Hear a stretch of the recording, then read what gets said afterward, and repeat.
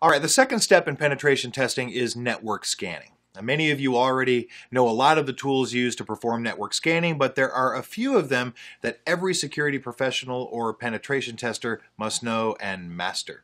So let's start a brief discussion of these tools. Now, if you navigate to Applications, go to Kali Linux and Top 10 Security Tools, we can find the first one here, Nmap. Now, if you are a Windows user, you have probably seen the Windows version or graphic version of Nmap, which is called ZenMap. It's probably the same, although here you have more control about the type of scan, how it performs the scan, and, and really what you need from the scan.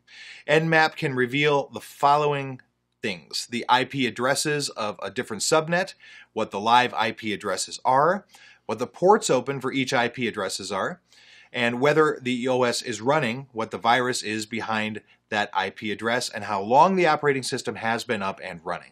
We can find out a lot of things here, obviously, with Nmap. Now, another interesting tool uh, to know is HPing, which is now on version 3. Type HPing 3 and hit enter. You can see that HPing 3 uh, doesn't show the help menu right away. In HPing and other applications, you can always type MAN, M-A-N, to get the complete manual on how to use HPing 3.